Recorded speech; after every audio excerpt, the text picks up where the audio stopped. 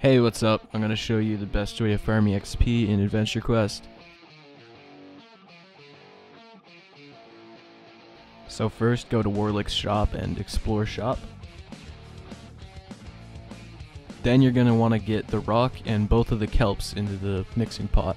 So you'll either get Talk Like a Pirate Day or you'll get Triple Challenge. If you get Triple Challenge, just flee from the battle, go back to Warlic's shop, and try it over again. You want to get to Talk Like a Pirate Day. You get to Talk Like a Pirate Day, you just double click Rhubarb's chest to fight him.